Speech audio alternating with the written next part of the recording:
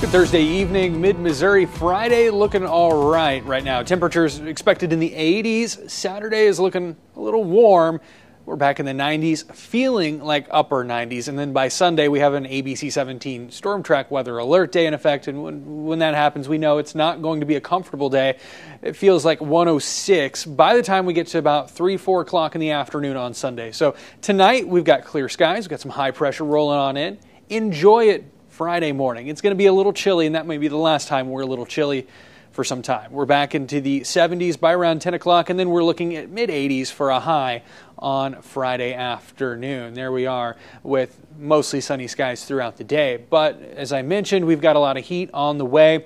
We're looking at that high pressure sliding well off to the east, and then south winds around the edge of that high pressure, and some more south winds ahead of some low pressure to the west sandwich here in mid Missouri, and we're looking at a big warm up with that. But not only more warmth, but well, some more humidity as well. Here is a look at temperatures. We're looking at 83, uh, 84 on Friday afternoon. Looking at Saturday again, low 90s, but then we're in the upper 90s Sunday into Monday, and that's our concern time frame. Really late weekend into early next week. That's the that's really where we're, we've got the uh, hot temperatures and the high dew points lining up. We've got dew points in the 70s Sunday through Tuesday. And so while we have a weather alert day in effect for Sunday, you can see the heat a little bit more widespread compared to Saturday here as we roll into Sunday.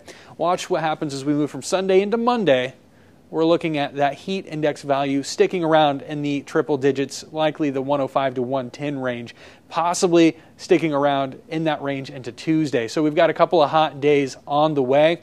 We'll give it a little more time before we issue our weather alert day for Monday and Tuesday. We want to get that trend, make sure that's one that's going to stick around, but it's going to be hot. Even outside of Tuesday, where we might see dew points fall a little bit and temperatures into the low to mid 90s, it's still going to be hot for the entirety of that first week of school for a lot of kids that are headed back. Enjoy that 80 degree high on Friday.